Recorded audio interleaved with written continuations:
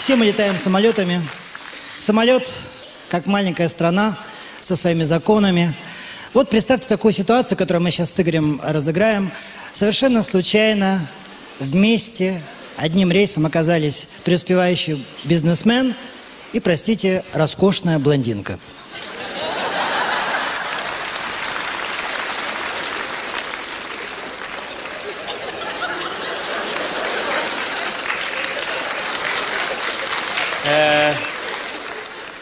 Меня зовут Вадим.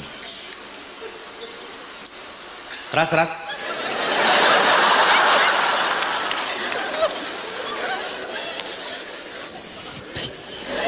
Э, Ну, я бизнесмен. Ира, Приятно. Я, знаете ли, угольком приторговываю, лесок гоняю туда-сюда, а вы? да как вам сказать, Вадим, профессия у меня странная. Ну-ка. Я офтальмолог-строитель.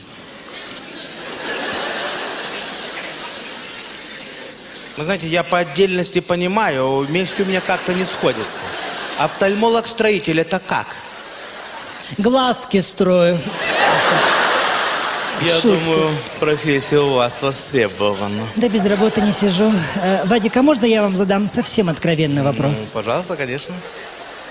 Вы тоже этим рейсом летите? Да. Вот видите, у нас с вами так много общего. Вы тоже очень красивый, Взаимно. очень спортивный, Взаимно. очень умный. Благодарю вас. Почему-то все думают, что мечта любой женщины – это удачно выйти замуж. Ну, я тоже так считал. Нет, нет, уверяю вас. Если честно, мечта любой женщины – это жрать и не поправляться. Я даже в церкви иногда молюсь. Господи, если ты не можешь сделать так, чтобы я похудела, сделай так, чтобы мои подруги поправились. А могу я вам задать тоже такой немножко фривольный вопрос? Конечно. Скажите, а почему все симпатичные девушки обязательно носят обтягивающие юбки? Не знаю, наверное, чтобы ноги вместе держать. Шутка. Кстати, Вадик, хочу вам сделать комплимент. Вы очень стильно одеты. Спасибо, спасибо большое. Скажите, а у кого вы одеваетесь? Да как вам сказать? У кого просыпаюсь, у того и одеваюсь. Шутка. Да, я вижу, вы очень остроумная девушка.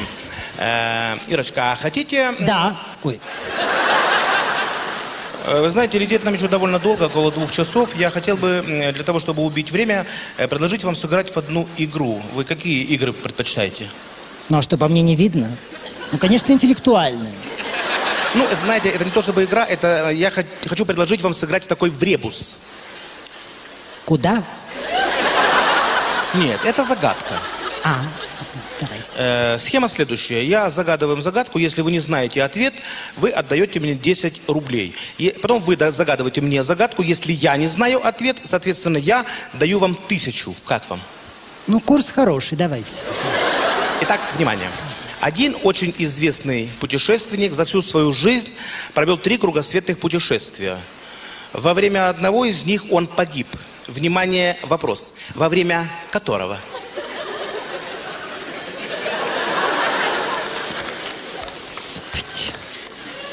Возьмите 10 рублей. Ну, А что, такой сложный вопрос? Вадик, ботаника не мой конек. Теперь я вас вы. погоняю. Скажите, Вадик, кто поднимается в гору на трех ногах, а спускается на четырех? А? Вадим думал несколько часов. Он перебрал все мыслимые и немыслимые варианты. Самолет уже совершил посадку.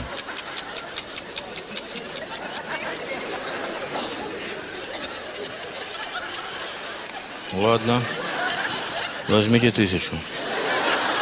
Залезает на трех и слезает на четырех. Ну и кто это? Возьмите 10 рублей.